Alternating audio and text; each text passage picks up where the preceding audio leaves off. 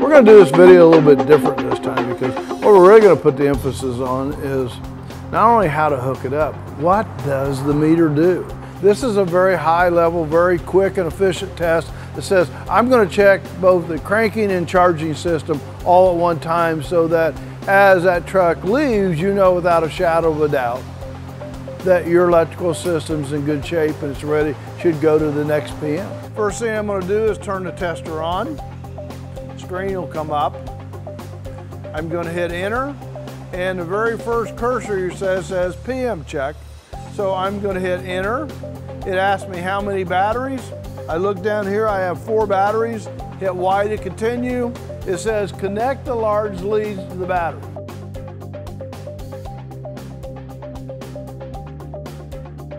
On the top side of these batteries are all the positive terminals.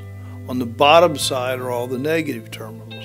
So as you can see, we hooked up the positive to the very far right, and we hooked the negative on the bottom to the very far left.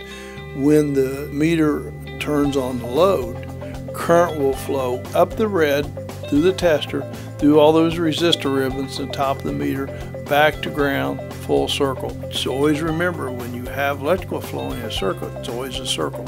So wherever current comes from, that's where it has to go back. So by the way we hooked it up, we're pulling current out of all four of these batteries and we're measuring what that voltage dropped to during that test. Once you have you segregate go across the battery pack as, as far as you can, that gets all the intercell connectors. You're testing the battery, the complete battery pack as much as possible. That's what you want to do. You don't want to just put two leads on one battery pack because you're not testing all the other leads.